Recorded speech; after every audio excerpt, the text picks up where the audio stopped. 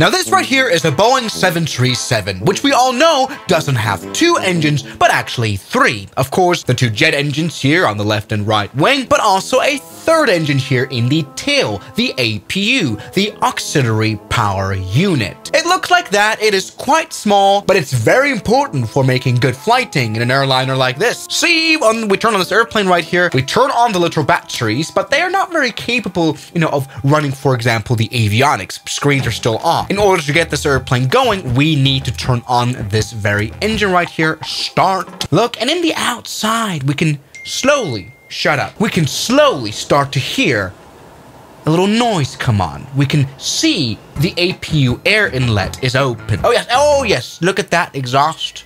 Uh, aha, and we can see the APU available light come on. Aha, and we can hear, especially air coming in. The little APU engine provides our airplane now on the ground with air, especially cool air, very good for summers. The generator in this engine provides the airplane with electricity, and for starting up the engine, we turn on the APU bleed, which sends air into the jet engines in order for them to start up. The simple function of the simple APU, which makes ground operations work very well. But one major problem about these APU engines is that they're broken all the time. and pilots hate that. And actually, passengers hate that as well. Look, it's a hot summer day. We're in Los Angeles. We get into the cockpit and oh no, it says INOP here on the APU panel, meaning it's just genuinely broken. Now really, this does happen quite a lot. These APU engines are small, they're used quite a lot, and you don't actually need them to fly Uh, even though they're very annoying. See, we are in this cold and dark airplane in the summer, which is not cold at all. It is very hot. And the problem is, as I've said already, APU is needed for air conditioning. We practically now have an unair conditioned airplane. The usual APU INOP story of a passenger is when we actually took our seats though, I noticed the how hot the cabin was. After about 20 minutes of sitting in the seat, the pilot in command came over over the PA and explained that the reason for the delay and the reason for the very hot cabin was due to the APU's unserviceable, and so it couldn't provide cool air or power to start the engines. Now, not to exaggerate, but the APU engine breaks so often that if crew had to switch airplanes every time an APU was broken, flights would have to be delayed so many more times than they are anyway, or will have to be cancelled because no other aircraft is available. So most airlines allow flying the airplane without an APU. And so we're gonna do that today, although it is very annoying. Now, the good thing is we're in the flight simulator, so we don't actually experience the heat. We can just uh, imagine it. Now, to actually make this airplane fly, we need a little bit of help from outside world, from the ground crew. Look, ground services. Something we need for the electricity is the ground power unit. Something you see quite a lot. It looks like this right here. It is practically a diesel generator. We can hear that. It generates electricity indeed, and it is kind of just plugged into the airplane like a hybrid car. This is great. The ground power unit is often used, you know, even when an airplane is standing on the ground for a long time and you don't want to burn fuel on the APU. It's quite fuel use heavy. So there we go, power is available and we're using that. Now, there are ways to, you know, cool the airplane from the outside by using an air conditioning unit of some sort, but this is rarely done, I feel like, because it just takes so long. And it's not simulated here in the airplane, so we're just gonna ignore that. Yes, you could get rid of the heat a little bit, but you know, the GPU and all that, it's just not capable enough of cooling the airplane down. We've got a very hot cabin. But now something that is a major problem is that the engines definitely won't turn on. Like I can just try to start them up, just won't work. Look, that is absolutely dead. Something we do need now, though, is an ASU, the Air Start Unit. Let's connect it right here, and it looks like this. And we can hear lots of machinery here. This provides now actual bleed air.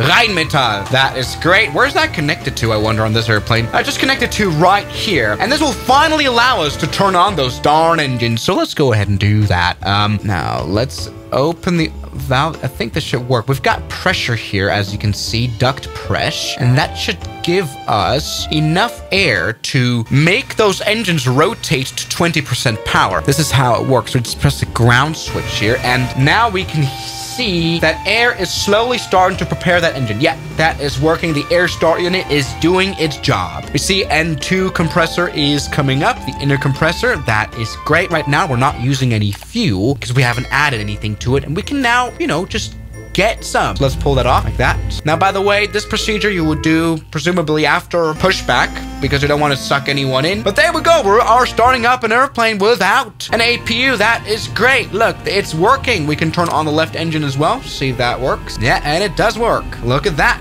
Good thing is we didn't really take a long time there. Everyone would just be dying in heat now. And we can get rid of the ASU and the GPU, of course, since it's not necessary anymore. We can use the generator of the engine. And finally, we can uh, turn on those packs. Oh yeah, turn on high. We can hear. We can just hear the cool air. Yeah, as you can see, the air finally coming down. Very good. Now for our flight, we won't have any, you know, differences to normal. All as well. We're very poorly configuring this. Air. Come on, just take off now. Yes, all is going well. We're using full, full power here.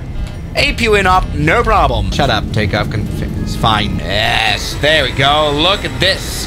Landing gear up. Now, yes, it is very annoying to fly without an APU, but the question is, is it unsafe? I mean, the APU really does offer some redundancies. For example, what happens if both generators on the engines fail? I mean, this is a 737. It only has one generator per engine. You know, bigger airplanes like the 777, I think, has to be able to fly across oceans, so it has two generators in the uh, engine, so for backup, right? So this airplane doesn't. It doesn't really fly long distances. What happens if you generator one, generator two fail, fail, fail? Oh no! What happens now is that we're losing power. We're losing power quite well here, and we cannot now turn on APU because it's broken. In real life, you would do that, but still the airplane flies, and as long as you're not flying for long distances, this is no problem. For example, the 737 is not allowed to fly without the APU on an ETOPS route that goes over water for over 180 nautical miles without any, you know, diversion airport. You know, this is something that's noted in an airline's MEL, minimum equipment I don't know what the L stands for. Uh, yeah, the minimum equipment list. So yes, there has never been a crash which cause was directly the APU having been off. I mean, okay, if you have, for example, an engine shutdown mid-flight, for example, we've now turned off our right engine and we try to restart it, the normal procedure would be turn on the APU, so we can restart that engine. But we can also just windmill it. I mean, look, we're flying at quite a good speed, and we can try to restart that engine simply by the wind that's running through it, you know? So we uh, turn on ground start, just put ignition, come on, work. All right, now we're in trouble. Uh, wasn't this supposed to be? We need more airspeed. Is that the deal? Just go faster now? No, we need more airspeed. We need at least 280 knots, I think, on the Boeing 737 NG. So let's see. Put that left engine to maximum power, and that will, come on, windmill enough air into that engine here. And at 280 knots or so, we should see a restart. Work for me, airplane. Please do. Oh, we're now plenty fast. Give me some power, please. Ah, uh, uh, yeah, yeah, yeah. Yeah, yeah, look, look. I think I'm seeing it turn on. We can see fuel flow. Fuel is running into the engine. No, no, it's not. Yes, now we're flying proper overspeed now. Ah, yes, but that makes the engine turn on. Look at that. We've got temperature. We've got everything going. It is now working, everybody. Um, yes, everybody. I've done a restart. So once again, APU issues, generally not lethal at all, but it is immensely inconvenient to crew and airlines because you need a lot longer to turn on your airplane and the cabin is much hotter. It's just much worse, both for passengers and for pilots. And that's why pilots love the APU. So thank you guys so much for watching this video, I'll see you guys tomorrow as always. Good night. And a special thanks goes out to my members, my supporters, Guns Killer, R27, James Duram, that dude, Anime Gods of Gaming, Derek, Insider Plane, Nishijitsu Fighter, Professional Jamal, Ryland Williams, and New the York. You've got beautiful names.